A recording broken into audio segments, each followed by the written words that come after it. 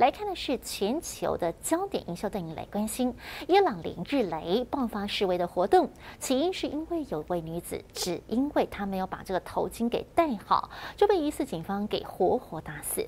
不过这个事件现在引发全民怒火中烧，不少妇女呢当众剪下头发、烧掉头巾，也有人破坏了警车、撕毁了政治人物的画像，警方也发射了实弹来镇压。冲突之下，至少八位示威者呢是不幸死亡。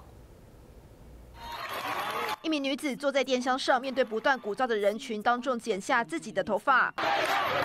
成千上万的群众走上街头示威，高举着布条表达不满。事件的导火线是因为有一名二十二岁的女子艾米尼，只因为没有把头巾戴好，就遭到宗教警察逮捕。没想到竟然还疑似被警方殴打致死。事件引发全民公愤，抗议活动在伊朗多个城市遍地开花。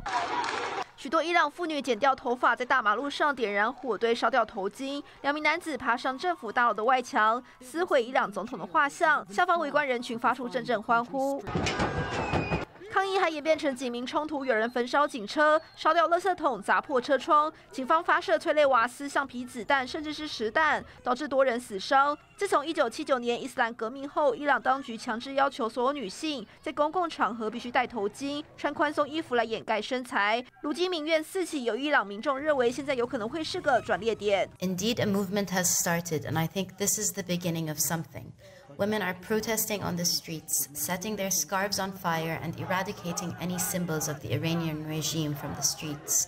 Iranian people clearly know that freedom will only be achieved if they can put an end to this brutal regime. 事件不断升温，引发国际关注。为了平息民怨，伊朗总统下令调查女子死因，给家属和外界一个交代。记者综合报道。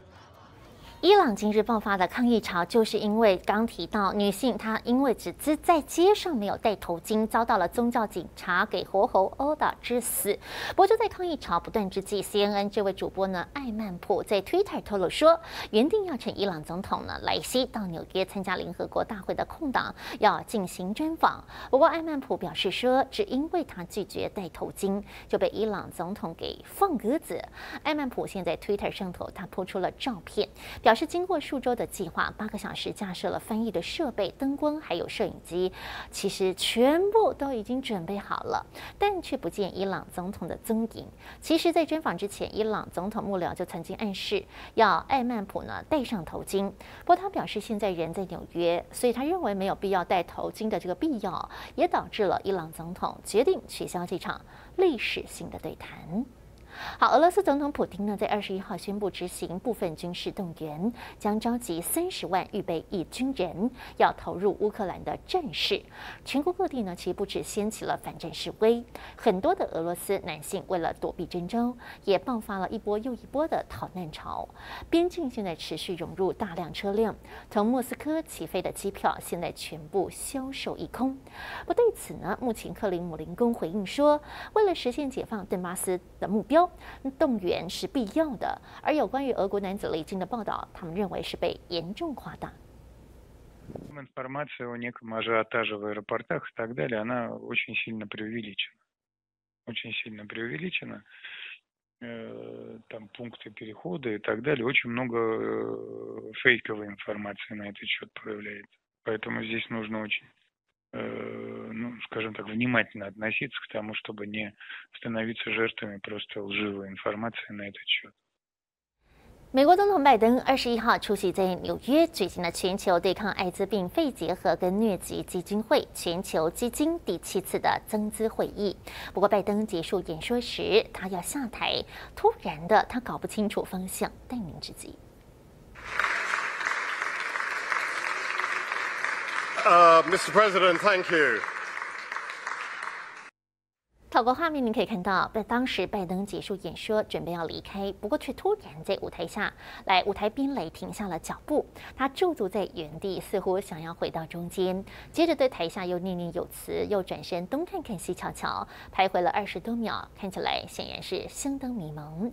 这段又尴尬又糗的画面呢，在 Twitter 上头现在疯传，网友再度质疑了七十九岁拜登的身体健康情形，更有人认为他应该要接受任职的测试。